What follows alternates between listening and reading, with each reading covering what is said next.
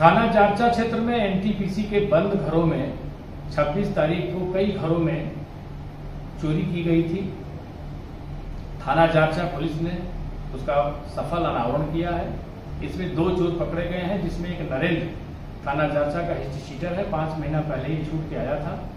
अपने साथी के साथ मिलकर स्कूटी से रैकी करके इन घटनाओं को अंजाम दिया था। इन सभी घटनाओं का शत प्रतिशत माल रिकवर हुआ है।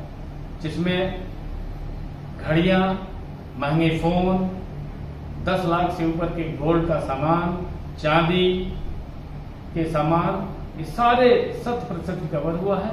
बहुत ही बेहतरीन वर्क हुआ है। और इसके लिए पुलिस कमिश्नर महोदय द्वारा इस टीम को पच्चीस हज़ार रुपये का नगद इनाम भी दिया गया था। इन दोनों बदमाशों के विरुद्ध हम गैंगस्टर एक्ट के तहत कार्रवाई भी करेंगे।